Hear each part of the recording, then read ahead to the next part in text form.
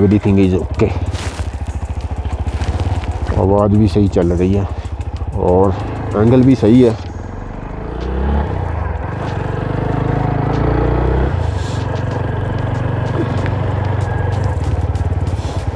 Apple tree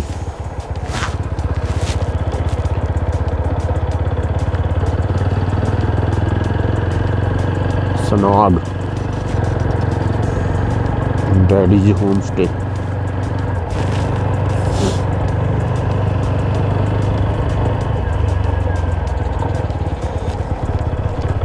ओह आई सी ਇਸ ਪੁਲ ਨੂੰ cross ਕਰਕੇ ਜਾਵਾਂਗੇ ਉਸ ਓਕੇ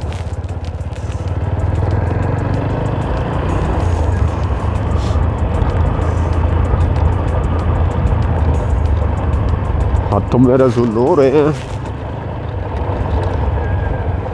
ठंड नहीं लग रही है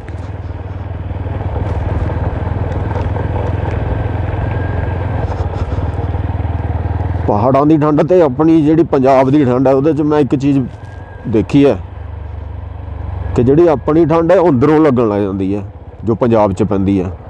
ਜਿਹੜੇ ਮੌਸਮ ਦੇ ਵਿੱਚ ਮਤਲਬ ਕਿ ਸੂਰਜ ਦਿਖਾਈ ਹੋ ਨਹੀਂ ਦਿੰਦਾ, ਧੁੰਦ ਪੈਂਦੀ ਰਹਿੰਦੀ ਹੈ। ਤੇ ਪਹਾੜਾਂ ਦੀ ਠੰਡ ਉੱਤੋਂ ਲੱਗਦੀ ਹੈ। ਤੁਸੀਂ ਕੱਪੜੇ ਮੋਟੇ ਪਾ ਲਓ, ਤਾਂ ਬਹੁਤ ਘੱਟ ਲੱਗਦੀ ਹੈ, ਕਿਉਂਕਿ ਇੱਥੇ ਦਿਨ 'ਚ ਧੁੱਪ ਨਿਕਲ ਜਾਂਦੀ ਹੈ। ਧੁੱਪ 'ਚ ਥੋੜਾ ਬੰਦੇ ਨੂੰ ਆਰਾਮ ਮਿਲ ਜਾਂਦਾ ਹੈ। ਜਦੋਂ ਪੰਜਾਬ 'ਚ ਮਹੀਨਾ ਮਹੀਨਾ ਧੁੱਪ ਨਿਕ- ਨਿਕਲਦੀ ਹੋਣੀ, ਸੂਰਜ ਦੇਖਣ ਨੂੰ ਨਹੀਂ ਮਿਲਦਾ, ਲੋਕ ਤਰਸ ਜਾਂਦੇ ਆ ਕਿ ਕਿੱਥੇ ਗਾਇਬ ਹੋ ਗਿਆ। ਉਦੋਂ ਫਿਰ ਠੰਡ ਅੰਦਰੋਂ ਲੱਗਦੀ ਹੈ ਚਾਹੇ ਦੋ ਦੋ ਰਜਾਈਆਂ ਲੈ ਕੇ ਸੌਂ ਜਾਓ, ਤਾਂ ਵੀ ਨਹੀਂ ਹਟਦੀ। ਔਰ ਮੇਰੇ ਨਾਲ ਹੋਇਆ ਸੀ ਲਾਸਟ ਟਾਈਮ ਇਹ ਹੈ ਸਨੋ ਦਾ ਪਹਾੜ। ਬਾਈਜ਼ਰ ਲਗਾ ਹੀ ਲੈਂਦੇ ਆ। ਥੋੜੀ ਬਹੁਤ ਧੂਲ ਮਿੱਟੀ ਅੱਖਾਂ 'ਚ ਪੈਣ ਲੱਗੀ ਕੌਣ ਸਾ ਏਰੀਆ ਹੈ ਭਾਈ ਇਹ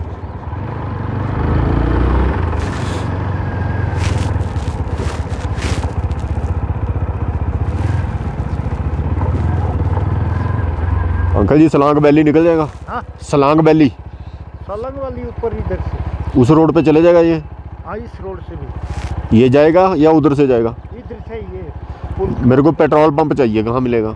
है? पेट्रोल पंप चाहिए। पेट्रोल पंप तो बाँध में ही मिलेगा। उधर ही मिलेगा इधर आगे कोई नहीं है। नहीं आगे कोई नहीं। और ये सलांग निकल जाएगा पीछे से। हाँ।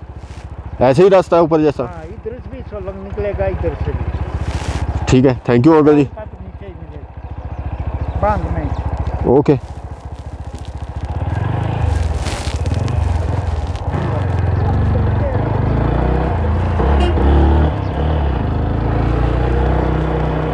ਆਪਾਂ ਇਸ ਨਵੇਂ ਰਸਤੇ ਦੀ ਨਿਕਲ ਲੈਂਦੇ ਹਾਂ ਸਲਾਂਗ ਦੇ ਲਈ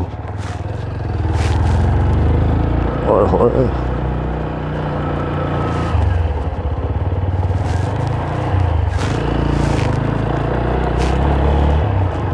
ਇਹ ਜਾਏਗਾ ਕਿਹੜਾ ਜਾਏਗਾ सलांग वैली सलांग सलांग ऐसे बोला थैंक यू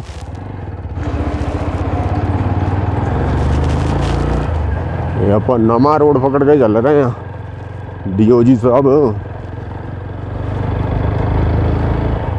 ਜ਼ਿਆਦਾਤਰ ਲੋਕ ਉਸ ਪਰਲੇ ਰੋਡ ਤੋਂ ਹੀ ਜਾਂਦੇ ਆ ਸਲਾਂਗ ਦੇ ਲਈ। ਇਹ ਵੀ ਹੋਏਗਾ ਪਹਿਲਾਂ ਪੁਰਾਣਾ ਰੋਡ ਲੋਕ ਇੱਥੋਂ ਦੀ ਵੀ ਜਾਂਦੇ ਹੋਣਗੇ। ਤੇ ਅੱਜ ਆਪਾਂ ਇਸੇ ਨੂੰ ਐਕਸਪਲੋਰ ਕਰਦੇ ਆ ਪੈਟਰੋਲ ਪੰਪ ਮਿਲ ਗਿਆ, ਠੀਕ ਹੈ, ਨਹੀਂ ਮਿਲ ਗਿਆ ਤਾਂ ਵੀ ਠੀਕ, ਚੱਲ ਜਾਏਗਾ। ਤੇ ਸਲਾਂਗ ਵੈਲੀ ਮਨਾਲੀ ਤੋਂ 15 16 ਕਿਲੋਮੀਟਰ ਹੀ ਆ। ਤੇ ਦੂਸਰੇ ਵਾਲਾ ਰੋਡ ਹੋ ਰਿਹਾ ਸਾਹਮਣੇ।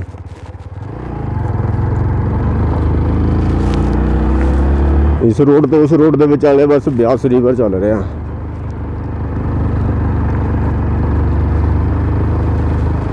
ਸਨੋ ਰੇਂਜ ਰਿਟਰੀਟ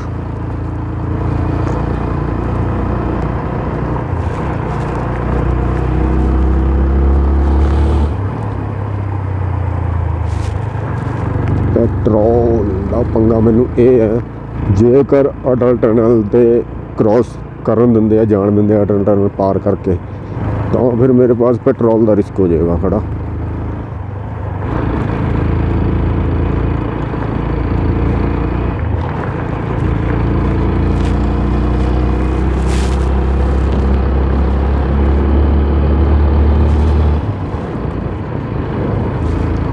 ਰੋਡ ਕਾਫੀ ਖਰਾਬ ਹੈ ਵਿੱਚ ਵਿੱਚ ਆ ਵੀਡੀਓ ਰੈਗੂਲਰ ਹੀ ਚੱਲ ਰਹੀ ਹੈ ਮੇਰੀ ਹੁਣ ਬਲੌਗ ਵੱਡਾ ਵੀ ਹੋ ਸਕਦਾ ਬਸ ਦੇਖੀ ਜਾਓ ਇੰਜੋਏ ਕਰੋ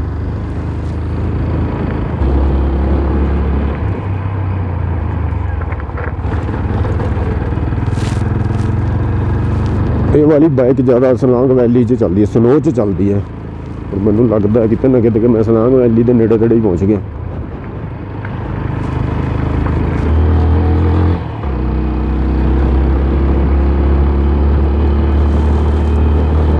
ਅੰਮ੍ਰਿਤ। ਇੱਥੇ ਲੈ ਮਿੱਤਰਾ, ਇੱਕ ਬ੍ਰੇਕ ਛੋਟਾ ਜਿਹਾ। ਤੇ ਦੇਖ ਇੱਥੇ ਦੇ ਕੁਦਰਤ ਦੇ ਨਜ਼ਾਰੇ ਥੋੜੇ ਜਿਹੇ। ਫੇਰ ਅੱਗੇ ਚੱਲਦੇ ਹਾਂ। ਜਗ੍ਹਾ ਹੈ। ਬਾਈਕ ਇੱਥੇ ਲਗਾਓ। 2 ਮਿੰਟ ਲਈ ਰੁਕ ਕੇ ਚੱਲਦੇ ਹਾਂ।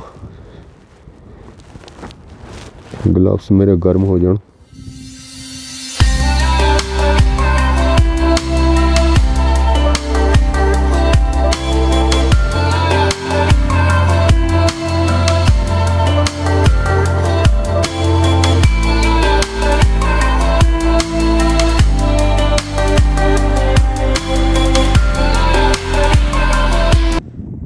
ਸੋ ਦਾ ਨਜ਼ਾਰਾ ਹੈ ਕੁਛ ਇੱਥੇ ਦਾ। ਪੀਕ ਤੇ ਕਾਫੀ ਸਨੋ ਹੈ। ਇਸ ਸਾਈਡ ਵੀ ਵਿੱਚ ਵਿੱਚ ਹੈ। ਉਹ ਟੌਪ ਤੇ ਕਾਫੀ ਹੈ। ਤੇ ਉਸ ਸਾਈਡ ਵੀ ਕਾਫੀ ਹੈ। ਚਲੋ ਬਈ ਚੱਲਦੇ ਹਾਂ ਫਿਰ ਅੱਗੇ ਹੁਣ। ਹੋਰ ਅੱਗੇ ਮੌਸਮ ਵੀ ਮੈਨੂੰ ਥੋੜਾ ਥੋੜਾ ਖਰਾਬ ਹੁੰਦਾ ਲੱਗਦਾ। ਕਦੇ ਖਰਾਬ ਹੋ ਜਾਂਦਾ, ਕਦੇ ਠੀਕ ਹੋ ਜਾਂਦਾ। ਦੇਖਦੇ ਹਾਂ ਕੀ ਸੀਨ ਹੈ। ਲਓ ਜੀ, ਦੇਖੋ ਫਿਰ ਇਹਨੂੰ ਕਹਿੰਦੇ ਬਰਫਾਂ ਦਾ ਦੇਸ਼।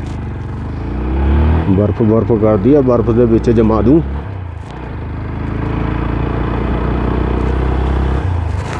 ਇੱਥੇ ਕਾਫੀ ਜ਼ਿਆਦਾ ਹੈ। ਤੇ ਅੱਗੇ ਅੱਗੇ ਅੱਗੇ ਅੱਗੇ ਹੋਰ ਵੱਧਦੀ ਜਾਏਗੀ। ਤੇ ਇੱਥੋਂ ਸਲਾਂਗ ਵੈਲੀ ਜਾਏਗੀ 3 ਕਿਲੋਮੀਟਰ। ਅਟਲ ਟਨਲ ਹੈ 14 ਕਿਲੋਮੀਟਰ। ਤੇ ਦੇਖੋ ਹੁਣ ਕੀ ਬਣਦਾ। ਪੈਟਰੋਲ ਆਪਣੇ ਕੋਲ ਹੈ ਨਹੀਂ। ਇਹ ਦੇਖੋ ਰੋਡ ਸਾਈਡ ਤੇ ਸਨੋ ਇਕੱਠੀ ਕਰਕੇ ਸਾਈਡ ਤੇ ਰੱਖੀ ਹੋਈ ਹੈ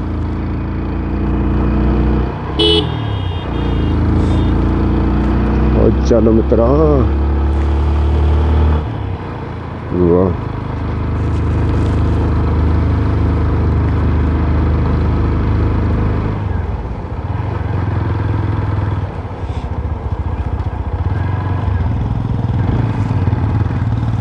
ਜਾਮ ਲੱਗ ਗਿਆ।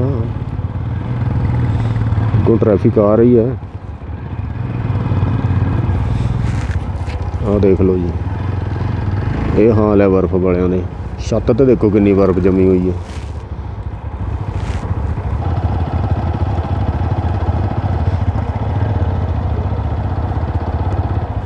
ਏਦਾਂ ਕਰਕੇ ਬਰਫ਼ਾਂ ਦੇ ਢੇਰ ਲੱਗੇ ਪਏ ਆ।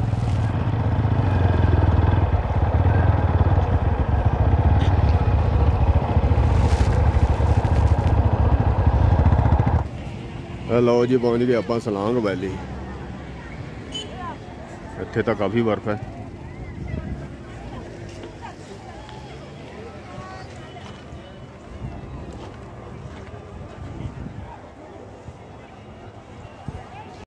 ਕਹਿਣ ਨੂੰ ਤਾਂ ਇੱਥੇ ਲੇਕਿਨ ਬਰਫ਼ ਪਈ ਹੋਈ ਹੈ। ਲੇਕਿਨ ਬਰਫ਼ ਦੇ ਵਿੱਚ ਜੋ ਧੁੱਪ ਲੱਗ ਰਹੀ ਹੈ ਨਾ, ਬੜੀ ਤੇਜ਼ ਲੱਗ ਰਹੀ ਹੈ। ਮੈਨੂੰ ਗਰਮੀ ਲੱਗ ਰਹੀ ਹੈ, ਮੈਂ ਜੋ ਕਾਸਟਿਊਮ ਪਹਿਨ ਰੱਖਿਆ ਮੈਂ ਦੋ ਜੈਕਟਾਂ ਪਹਿਨ ਰੱਖੀਆਂ ਇਸ ਕਰਕੇ। ਆ ਲੋ ਜੀ, ਹੁਣ ਆਪਾਂ ਪਹੁੰਚ ਗਏ ਬਿਲਕੁਲ ਬਰਫ਼ ਦੇ ਅੰਦਰ। ਇਸ ਲੰਗ ਵੈਲੀ ਦਾ ਉਹ ਗਰਾਊਂਡ ਜਾਇਕ ਕਾਫੀ ਵੱਡਾ ਇੱਥੇ ਬਰਫ਼ ਕਾਫੀ ਹੈ। ਤੇ ਤੁਹਾਨੂੰ ਇੱਥੇ ਦਿਖਾਉਂਦਾ ਕੀ ਕੀ ਐਕਟੀਵਿਟੀ ਹੁੰਦੀ ਹੈ।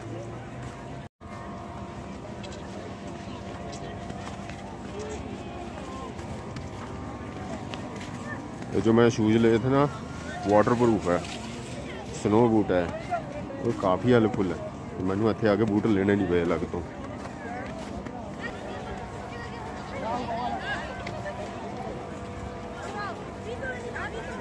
ਓਹੋ लंबा लंबा लंबा लंबा पीस करो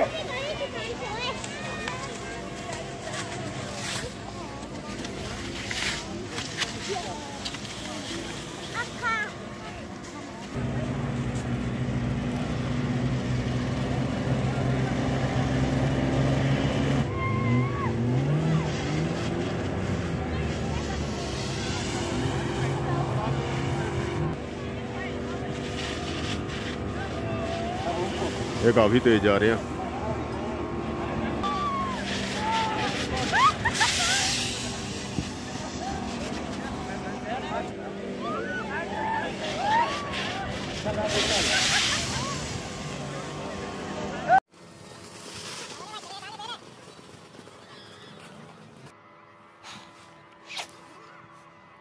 ਤਾਂ ਇਹ ਹੈ ਜੀ ਆਪਣੀ ਸਲਾਂਗ ਵੈਲੀ ਉਹ ਤੇ ਕਾਫੀ ਜ਼ਿਆਦਾ ਸਨੋ ਹੈ ਇੱਥੇ। ਇਸ ਟਾਈਮ ਤੁਹਾਨੂੰ ਸਨੋ ਇੱਥੇ ਹੀ ਮਿਲੇਗੀ, ਮਨਾਲੀ 'ਚ ਤਾਂ ਹੈ ਹੀ ਨਹੀਂ। ਤੇ ਹੁਣ ਆਪਾਂ ਚੱਲਦੇ ਆ ਇੱਥੇ ਤੋਂ ਵਾਪਸ। ਮੌਸਮ ਖਰਾਬ ਹੋ ਰਿਹਾ ਪਰ ਬੱਦਲ ਹੋ ਰਿਹਾ ਥੋੜਾ ਥੋੜੀ ਬਾਰਿਸ਼ ਵੀ ਹੋਣ ਲੱਗੀ ਸੀ। ਮੈਂ ਦੇਖ ਰਿਹਾ ਸੀ ਕਿ ਸਨੋ ਪਏਗੀ, ਪਰ ਇੱਥੇ ਸਨੋ ਦਾ ਬਾਰਿਸ਼ ਹੀ ਹੋਈ ਹੈ ਸਨੋ ਤਾਂ ਖੈਰ ਨਹੀਂ ਪਈ। ਤਾਂ ਤੁਹਾਨੂੰ ਇੱਕ ਵਾਰ ਦਿਖਾ ਦਿੰਦਾ ਇੱਥੋਂ, ਸਲਾਂਗ ਵੈਲੀ।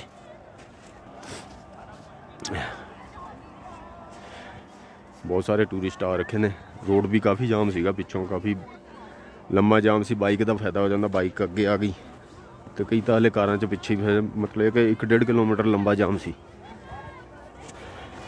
ਸੋ ਇਹ ਸਲਾਂਗ ਵੈਲੀ ਦੇਖ ਲਓ ਸਲਾਂਗ ਵੈਲੀ ਦੇ ਨਜ਼ਾਰੇ ਤੇ ਉਹ ਇੱਕ ਟ੍ਰੇਲ ਚੱਲਦੀ ਹੈ ਨੀਚੋਂ ਉੱਪਰ। ਉੱਪਰੋਂ ਟੌਪ ਤੋਂ ਹੁੰਦੀ ਹੈ ਪੈਰਾਗਲਾਈਡਿੰਗ ਇੱਕ ਥੋੜੀ ਨੀਚੋਂ ਹੁੰਦੀ ਹੈ ਸ਼ਾਇਦ ਇੱਥੇ ਤੋਂ, ਇਹ ਇਹ ਵਾਲਾ ਪੁਆਇੰਟ ਹੈ ਪੈਰਾਗਲਾਈਡਿੰਗ ਦਾ ਤੇ ਇੱਕ ਉੱਪਰ ਹੈ ਟੌਪ ਤੇ। ਤੇ ਚਾਰਜਸ ਅਲੱਗ-ਅਲੱਗ ਨੇ ਦੋਨਾਂ ਦੇ। ਟ੍ਰੇਲ ਜਾ ਰਹੀ ਹੈ ਉਹ ਉੱਪਰ ਟੌਪ ਤੇ।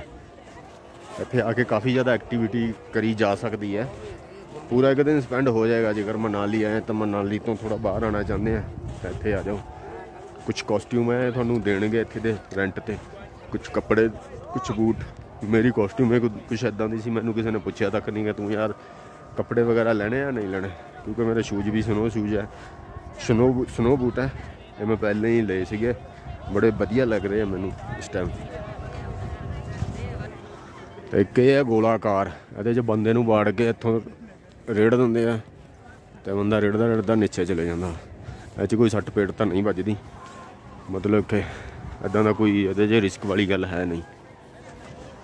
ਤੇ ਚੱਲਦੇ ਆ ਹੁਣ ਆਪਾਂ ਵਾਪਸ। ਪਹਿਲਾਂ ਕੁਝ ਖਾਂਦੇ ਪੀਂਦੇ ਆ, ਉੱਥੇ ਸਾਈਡ ਤੇ ਬੈਠ ਕੇ ਥੋੜੇ ਨਜ਼ਾਰੇ ਲੈਂਦੇ ਆ। ਵੀਡੀਓ ਤੋਂ ਅਲੱਗ ਹੋ ਕੇ। ਤੇ ਉਸ ਤੋਂ ਬਾਅਦ ਚੱਲਾਂਗੇ ਵਾਪਸ। ਤੇ ਅਟਲ ਟਨਲ ਦਾ ਰਸਤਾ ਵੀ ਇੱਥੋਂ ਬੰਦ ਹੈ।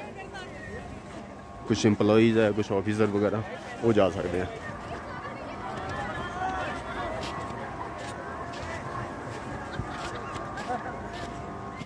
ਹੁਣ ਆ ਕੇ ਥੋੜਾ ਜਿਹਾ ਸਹੀ ਦਿਖਣ ਲੱਗਾ। ਇੱਥੋਂ ਚੰਗੀ ਤਰ੍ਹਾਂ ਦਿਖਾਈ ਹੀ ਨਹੀਂ ਸੀ ਦਿੰਦਾ। ਹੁਣ ਮੈਂ ਬਾਹਰ ਆ ਗਿਆ ਰੋਡ ਤੇ। ਰੋਡ ਤੇ ਸੁਣੋ ਨਹੀਂ ਹੈ। ਇੱਥੇ ਥੋੜਾ ਵਧੀਆ ਦਿਖ ਰਿਹਾ ਹੁਣ।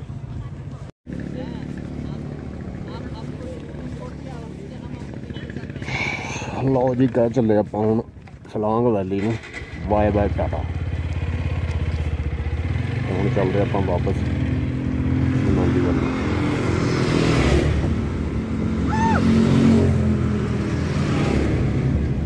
ਤੇ ਆਹ ਕੁਛ ਹਾਲ ਹੈ ਰਸਤੇ ਦਾ, ਸਲਾਂਗ ਵੈਲੀ ਦਾ, ਸਲਾਂਗ ਵੈਲੀ ਦਾ। ਆਲੇ ਦੁਆਲੇ ਤਾਂ ਬਰਫ ਹੀ ਬਰਫ ਪਈ ਹੈ ਆਂਦੇ ਹੋਏ ਤਾਂ ਕਾਫੀ ਜਾਮ ਸੀ, ਹੁਣ ਪਤਾ ਨਹੀਂ ਜਾਮ ਖੁੱਲਿਆ ਹੈ ਕਿ ਕੀ ਸੀ ਲੱਗਾ ਹੀ ਹੋਇਆ ਹੈ ਜਾਮ ਜੇ ਪਾਰਕਿੰਗ ਦੀ ਦਿੱਕਤ ਹੈ, ਅੱਗੇ ਪਾਰਕਿੰਗ ਘੱਟ ਮਿਲ ਰਹੀ ਹੋਈ।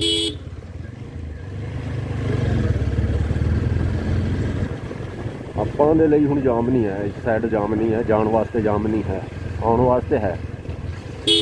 ਪਰ ਬਾਈਕ ਮੈਂ ਇਦਾਂ ਦੀ ਸਾਈਡ ਤੋਂ ਕੱਢ ਲਿਆ ਸੀਗਾ। ਬਾਈਕ ਆ ਜਾਂਦੀ ਹੈ। ਤੇ ਕਾਰਾਂ ਨੂੰ ਰੁਕ ਕੇ ਵੇਟ ਕਰਨਾ ਪੈਂਦਾ।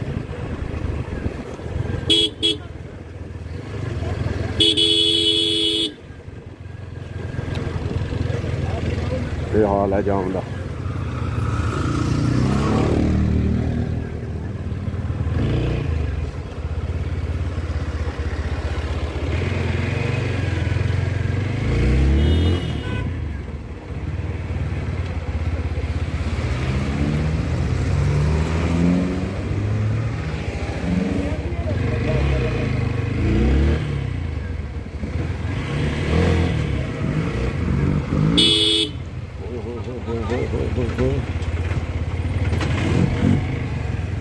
ਅੱਛਾ ਦੇਖ ਸਕਦਾ ਸੀ ਹੁਣ ਮੈਂ।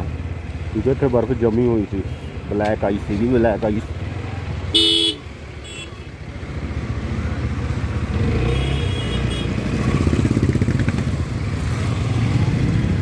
ਬਾਈਕ ਵਾਲੇ ਇਦਾਂ ਸਾਈਡ ਤੋਂ ਆ ਜਾਂਦੇ ਆ। ਸਲਾਂਗ ਹੌਲੀਡੇ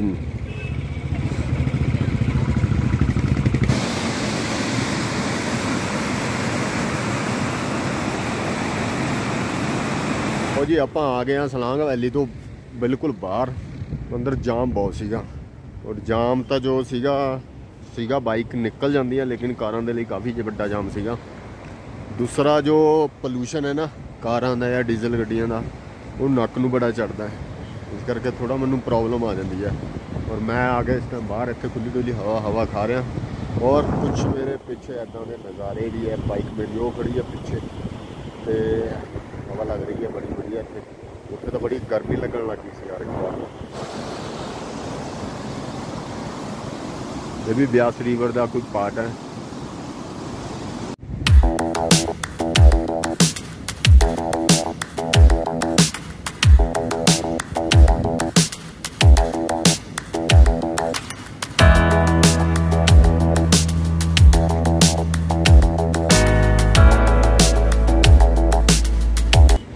ਕੇ ਆ ਗਿਆ ਮੈਂ ਦੁਬਾਰੇ ਉਸੇ ਢਾਬੇ ਤੇ ਜਿੱਥੇ ਮੈਂ ਸਵੇਰੇ ਬ੍ਰੇਕਫਾਸਟ ਕਰਕੇ ਗਿਆ ਸੀ। ਲੰਚ ਟਾਈਮ ਹੋ ਗਿਆ, ਮੈਂ ਸੋਚਦਾ ਕਿ ਲੰਚ ਕਰਕੇ ਚੱਲਾਂ। ਭੁੱਖ ਕੋਈ ਜ਼ਿਆਦਾ ਲੱਗ ਨਹੀਂ ਰਹੀ ਮੈਨੂੰ। ਪਤਾ ਨਹੀਂ ਕੀ ਦਿੱਕਤ ਹੈ।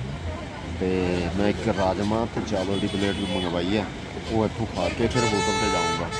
ਫਿਰ ਉੱਥੋਂ ਜਾ ਕੇ ਕੱਪੜੇ ਚੇਂਜ ਕਰਕੇ ਫਿਰ ਦੇਖਦੇ ਆਪਾਂ ਕਿੱਥੇ ਜਾ ਪਾਉਂਦੇ ਹਾਂ। ਹਰਿੰਬਾ ਟੈਂਪਲ ਜਾਂਦੇ ਆ ਕਿੱਥੇ ਜਾਂਦੇ ਆ ਇਹ ਆਪਣੀ ਰਾਜਮਾ ਚਾਵਲ ਦੀ ਪਲੇਟ ਹੈ ਤੇ ਢਾਬੇ ਤੇ ਰਸ਼ ਹੈ। ਇਹੀ ਕਾਰਨ ਹੈ ਜਿੱਥੇ ਅਸੀਂ ਆਣਾ ਸ਼ੁਰੂ ਕਰ ਦਿੰਦੇ ਆ ਉੱਥੇ ਸੇਲ ਵਧਾ ਦਿੰਦੇ ਆ ਚਲੋ ਖਾਂਦੇ ਆ ਤੇ ਨਿਕਲਦੇ ਆ ਇੱਥੋਂ ਫਟਾਫਟ। ਬਾਈਕ ਦੀ ਚੈਨ ਡਰਾਈ ਹੋ ਗਈ ਹੈ। ਇਹਨੂੰ ਲਿਊ ਕਰਨਾ ਪਏਗਾ। ਹੁਣ ਜਦੋਂ ਜਾਵਾਂਗੇ ਕੱਲ ਸਵੇਰ, ਪਹਿਲਾਂ ਲਿਊ ਕਰਾਂਗੇ, ਫੇਰ ਚੱਲਾਂਗੇ। ਚਲੋ ਜੀ, ਆਪਾਂ ਆਪਣੇ ਹੋਟਲ 'ਚ ਫਿਰ ਪਹੁੰਚ ਗਏ। ਇਹ ਸ਼ੈਡ ਦੇ ਥੱਲੇ ਮੈਂ ਲਗਾਤੀ ਬਾਈਕ ਤੇ ਹੁਣ ਕਮਰੇ 'ਚ ਚੱਲਦੇ ਆ ਥੋੜਾ ਕੱਪੜੇ ਉਤਾਰਦੇ ਆ ਧੂੜ ਮਿੱਟੀ ਵਾਲੇ। ਫਿਰ ਉਸ ਤੋਂ ਬਾਅਦ ਫਰੈਸ਼ ਹੋ ਕੇ ਫਿਰ ਨਿਕਲਦੇ ਆ